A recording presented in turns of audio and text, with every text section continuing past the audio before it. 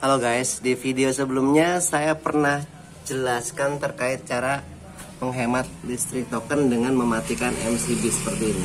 MCB-nya mati. Ya. Ya. Dan kalau kita cek 47 pagar ini 000. Jadi 0 watt nggak ada daya masuk ya. Nah walaupun MCB ini mati, ya, listrik tetap nyala, ya TV tetap nyala.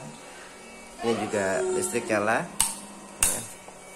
nah bagi yang belum tahu rahasianya rahasianya ada di sini. Ya. Jadi dari KWH ini masuk ke panel box. Ini ada genset PLN PLTS dan yang aktif saat ini adalah PLTS PLN nya mati. Ya. Genset juga ada tapi ini hanya ini jarang saya fungsikan ya. Kalau PLTS mati dan PLN mati baru pakai genset.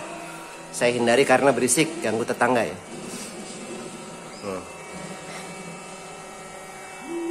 budget minimal untuk membuat PLTS yaitu yang pertama ini.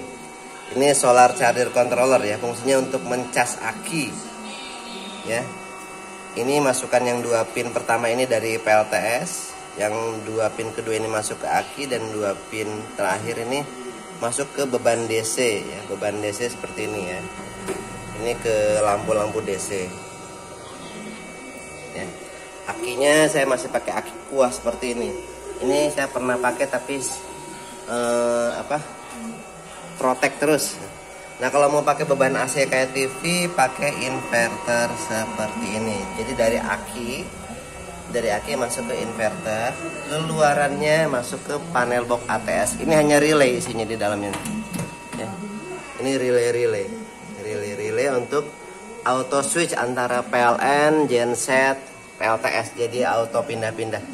Nyari source yang aktif yang mana. Kalau ini controller untuk ke Arduino untuk monitoring. Oke.